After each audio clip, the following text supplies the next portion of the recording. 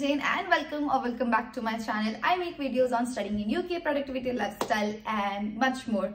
So hello, kaise ho and kedu keme? So Agemumba. that's the only word I have learned, okay? That's nice. Today we have Jix with us. So Jix will introduce himself. He is from Nigeria and a very good friend of mine. oh well, um, Jex is just the, the short form. My full name is Chukwujekwu Joseph Ezema. I'm from Nigeria, like she said, precisely Enugu State. Nigerian people will know. So I can never speak those words. These are very hard for me. Really, those words are really hard for me. So today's point of this video is like we are gonna discuss how hard or easy it is to get a job after pursuing data science in UK as an international student. So Jix, I would like to know your points on it. Like what do you feel about it? Yeah, he's good. Um, of course, today um, the world is going into data. Um, um, most of the job opportunities are around data. If, if it is not data engineering, it is data science, it is data analyst. So I feel good that I'm in, in the sector where I am needed and my skills and everything that I need to offer are valued in my environment. So that's one of the motivations to be here. And in, primarily, that's what it should be.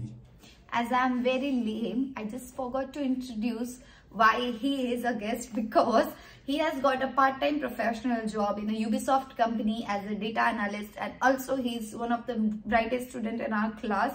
Very, very studious. He's studious than any girl, any boy. Like he's always studying with his laptop on and like stuff like that. Okay.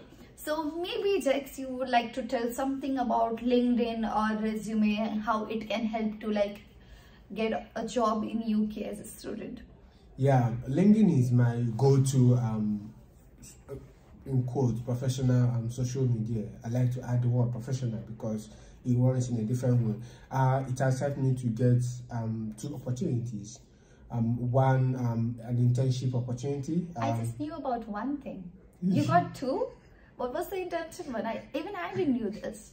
yeah so one is um is more like where i groomed my skill um i did internship with them and the second one is the current one that i have now is to tell you the importance of linkedin and um, how important to maximize the networks and the opportunities that we have there there is a whole lot of opportunities in linkedin so i enjoin you all to um LinkedIn.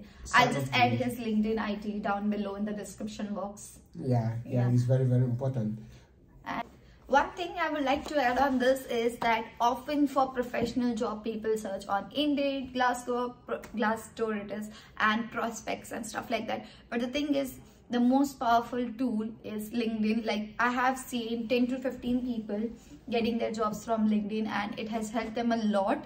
And talking about CV, that's one thing I have noticed. Maybe it can be right, maybe it can be wrong, but it's just my experience that in CV, people often uh, like emphasize on the experience which is not needed or education or certificates which are not needed or hmm. related to your course.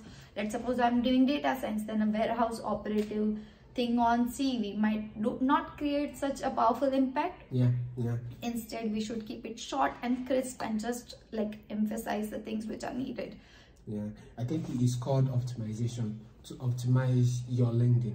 So if, like, for instance, I was once a credit analyst okay yeah in, in back, back then nigeria in Nigeria, right? Yeah. So, but the way I have done my LinkedIn, or you will, all you all can never the, know that you were a credit yeah, analyst The algorithm, what the algorithm will suggest from my profile will be a data analyst okay because. I've optimized my profile to tell you That- what I'm into.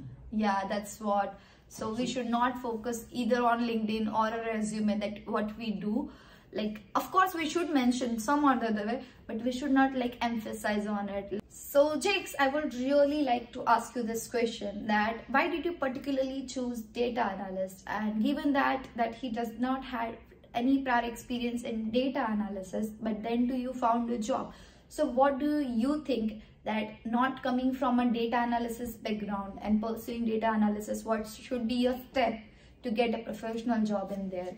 Yeah, um, thank you for the question. Um, I think one thing that stood out for me in, in all the pursuit for the, um, what I do now is the passion. and it, it, it's just like uh, every other thing can attract you to it like people will say maybe i'm tired of my job maybe someone is abusing me where i am all those things can be one of the two things one of the things that can attract you to another field but for me what stood out for me is the passion i have for it the passion i have for the world technology of today which is all around data so you can see how we've moved from data to these days we're now talking about chat, G, chat GPT, which is all based on data. That was my question, you know. I so, was like, I secretly built this question that I'll ask him out of nowhere in a blue moon. And then he just suddenly, okay, I'll ask it right now, not to spoil my anything like do you think that invention of ChatGPT anytime soon can take data scientist or data analysis job? No, it can because that we are we are we are in the behind of it. Yeah, that's so. so the people that should be threatened are the people whose work are on the interface, which is, for instance, um, maybe um the, the job of a researcher for a company, for instance, just just guessing, or other jobs that do not require um, the kind of job we do. So I'm not trying to um, be biased, but um, I, in, in my opinion, I think without the data science, Artificial there will be no ChatGPT. Yeah, that's what data scientists or artificial intelligence people had created this artificial yes. intelligence platform known as ChatGPT. So there is nowhere that data scientist job can be taken by ChatGPT of course you can use that tool as it is a very powerful tool mm you can use it to find any job and then maybe you can specialize in that particular role exactly. but it's not taking your job at all I agree with you. and like we both are international students so what uh, problem have you faced in getting a job? Or you think that people might face this problem while getting a job? Like yeah yeah. Thank you for the question. Um it's very important that people know that um, it is never easy, especially um, as, as, as an international student um, who is here with student visa. Yeah, so, that too. You can just work twenty hours a day or, or so. first, first and first, you you are streamlined within your your your working style, which is twenty hours, like she said, mm -hmm. and then most employers would like to employ you while you are still studying, because um in quote, they won't like to employ someone who will need to work 20 hours in yes. our kind of job. So they would like a full time. Yeah. Even even those that would like part time will, will just like you not to have a student visa. It's, it's, it's just it's like a percentage. It's not in every case anyway. So once you mention that you're a student, half of the jobs are gone. Telling I'm telling you, once you mention that you're a student, there is slim chance that you, you, you get that opportunity. But I'm an I'm an optimist. So I would like to discourage you. You're, you're like I'm here as a living testimony. I'm studying, I'm still a student, but I've got I'm working as a part-time data analyst. So it's just to tell you that there are exceptions and yours might be different as well. So of course i want to clarify that this video is not about glorifying that he got the job and everybody will get the job this video the sole motive is that if you are very passionate about data science if you are willing to learn whatever comes in your way and you work hard for it there is high chances that you will get that job. But there are no certain steps or method that you can follow to get a job. It's your own journey. You have to trial and error what works for you what does not work for you but at the end of the day if you work hard for it if you learn in this process you will definitely get the job. And in no means we were trying to like teach you or like guide you. It's your own journey but we were sharing our own experiences which we are very glad to share it. So will you add anything? Like do you want to say anything to my audience? Yeah um one thing i would like to add is let the passion lead you.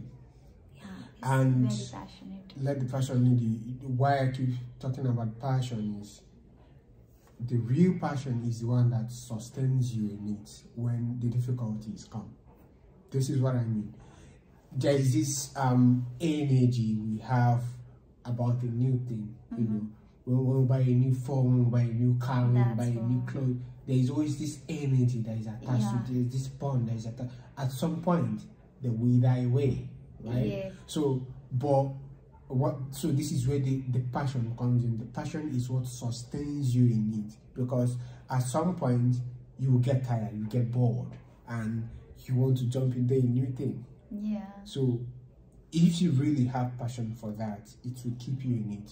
Once you remember why you are in it in the first place, that's what keeps you in it. You struggle, you bond the, the night hours, you don't sleep. Let me not use the word sleep, so it, it will look like we don't sleep. Me, I love You're my not sleep. satisfied at your Yeah, work point. I love my sleep, so I would like to give the wrong notion there. So, um, but the idea is to, to work hard um, for what you love to do. I love this. For any other thing, first and foremost, I love this. I love to be referred to as a data scientist, a data analyst. It gives me special joy having known why and how I, I and how I got to this place. I would love to add this point that data science is once a job that if you are not passionate about it, you cannot pursue it because every other day there are new languages coming up. Yeah. Every other day there is new packages coming up in Python. Yeah. Every other day there is some addition in things. Yeah. And if you are not passionate about learning it every day, rather you should not like choose this choose this thing as a career. And now i'm realizing it that i should like rename this video as motivation for data science rather than how to get a job or anything. Yeah, yeah but I think I agree with you. yeah he's a good motivator. I won't talk about me. I i do stupid thing on my videos. Okay day bye guys it was nice meeting you and it was really nice having you jakes Yeah, thank and you very. I hope you like this video. I hope you like the content of the video. And if you people really enjoyed this content or if you would like to see more such videos on data science or specifically data science or any data analysis, something like that, let me know in the comment section below and I will truly work on it. And till that time, take care. Bye bye. See ya. Yeah, bye bye.